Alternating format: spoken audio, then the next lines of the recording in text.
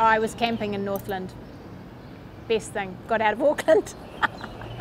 it's good just to leave the house behind, leave your whole life behind, and go and do something totally different. I think part of what I loved about it this year was that we met up with my cousin and her family and other friends, and um, it was nice to be able to just spend time with them easy, easily spend time with them, slowly, have a drink every night, um, enjoy, our kids enjoyed each other's company.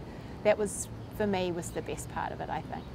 I was a lawyer, then I was a stay-at-home mother for about 15 years, and um, I was a breastfeeding counsellor during that, during that time, and helped run kids groups. And then now my kids are at school, I have taught myself to design knitting patterns. So I have a little business that I've grown designing knitting patterns.